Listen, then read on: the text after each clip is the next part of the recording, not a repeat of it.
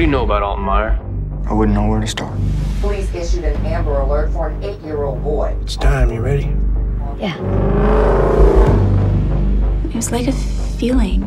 Kind of feeling. We need to know where he is. You'll have no clue what you're dealing with, do you? I'm sorry.